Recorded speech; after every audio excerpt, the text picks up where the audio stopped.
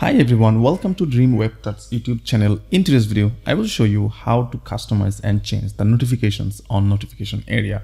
So if you want to change and customize the notification area, continue watching this video. So before we get started, don't forget to subscribe my YouTube channel Dream Web to get more tutorial like this. So to customize the notification area, you need to access the notification settings. So what you have to do, just right click on the taskbar and then select taskbar settings.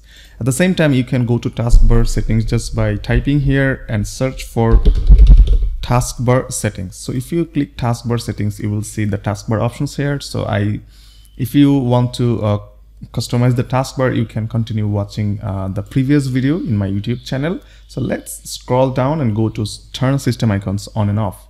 So let's say here is the key, touch keyboard option. I don't need this. I would I will uh, turn it off. So turn system icons on and off in notification area and then you can see here uh, touch where touch keyboard. You can see here touch keyboard. So I will turn it off. If I just turn off it will disappear okay? Okay if, if I turn off it will disappear. You can see I have clock volume and uh, location action center and everything. If you would like to turn off anything you can turn off turn them off from here but it is okay for me right now.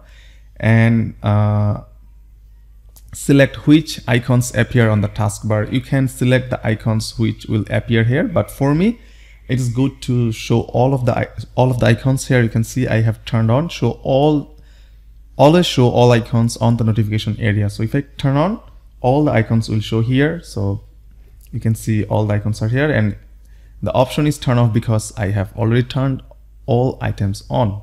So you can see all of my items are showing here so I'm good to go.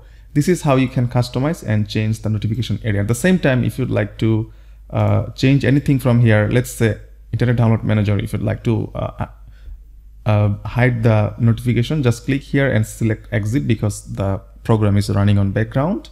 And here you can see it's a uh, screenshot softwares.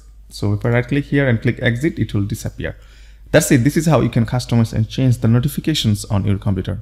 I'll show you uh, anything else in the next video. Don't forget to comment below if you have any question. Don't forget to thumbs up if you like my effort and don't forget to subscribe our YouTube channel Dream Web to get, get more tutorial like this. I will see you in another video.